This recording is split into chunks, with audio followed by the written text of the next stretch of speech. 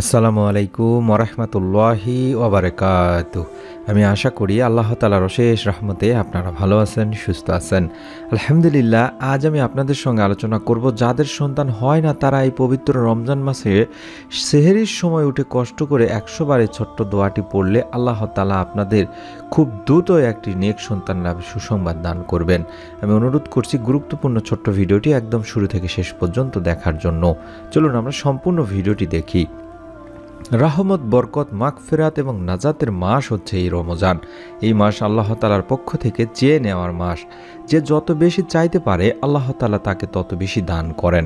বিশ্বনবী সাল্লাহ আলী হাসাল্লাম এই মাসে দোয়া কবুলের নিশ্চয়তা দিয়েছেন। সোহান আল্লাহ রমজান মাসে আল্লাহর অপরন্ত অনুগ্রহ লাভের অতি মূল্যবান দুইটি সময় আছে।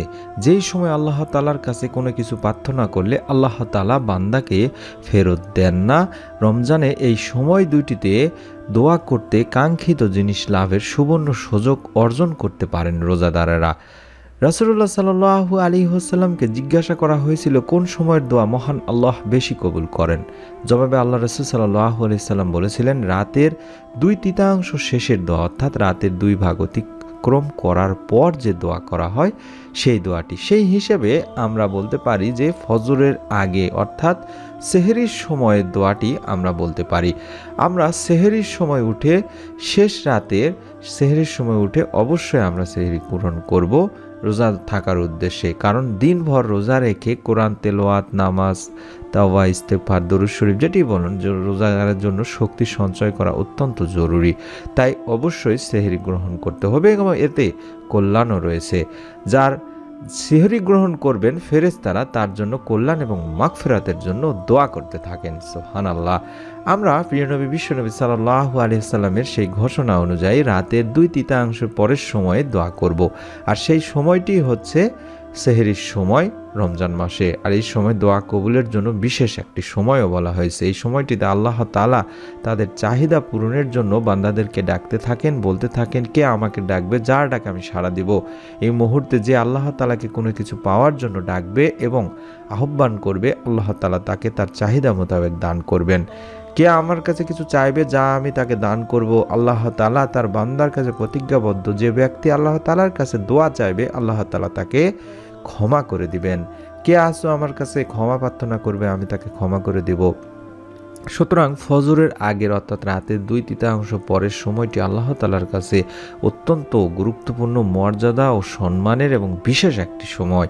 আর এই সময়টিতে আল্লাহ তালা সব সময় প্রথম আসমানে আসেন এবং বান্দাকে তাদের চাহিদা পূরণের আশ্বাস দিয়ে ডাকতে থাকেন।